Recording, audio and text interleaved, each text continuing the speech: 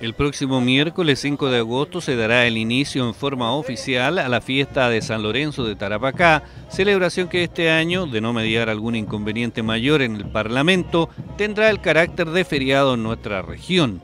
El lema elegido por la Iglesia para el 2015 es Con San Lorenzo Servidor del Pueblo Protector, escuchamos y anunciamos a Cristo Salvador.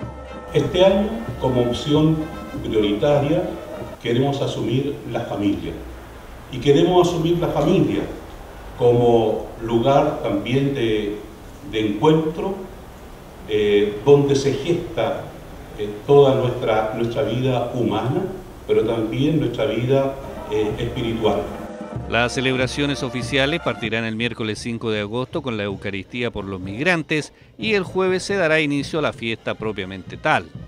En el día 8 que tenemos la Eucaristía con los niños, al mediodía también, y por la noche, el día 8, sábado 8 a las 20 horas, tenemos una Eucaristía muy especial, muy sentida, que es la Eucaristía con los bailes religiosos, pero con la connotación de que allí reciben su iniciación a la Eucaristía, es decir, la primera comunión, este año la agrupación de bailes religiosos de San Lorenzo de Tarapacá aseguró que serán 36 sociedades de distintas ciudades del norte las que danzarán en el pueblo. Nosotros como agrupación también estamos, eh, poco a poco nos hemos ido involucrando y hemos ido aprendiendo también a ser parte de la iglesia, porque eh, es verdad que muchas veces los bailes religiosos estamos un poco fuera de la iglesia, pero hemos aprendido a que tenemos que ir más comunadamente de la mano.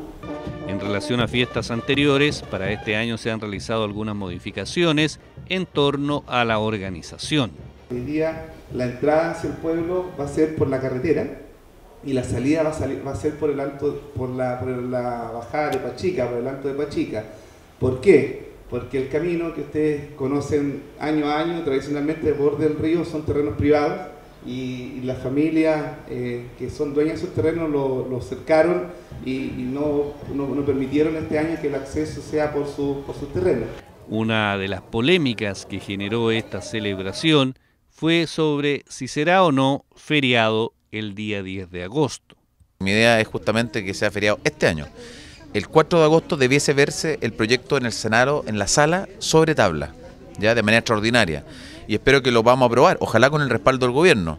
Eh, pero por lo menos vamos a hacer todo el esfuerzo para que este, este 10 de agosto ya sea, sea feriado.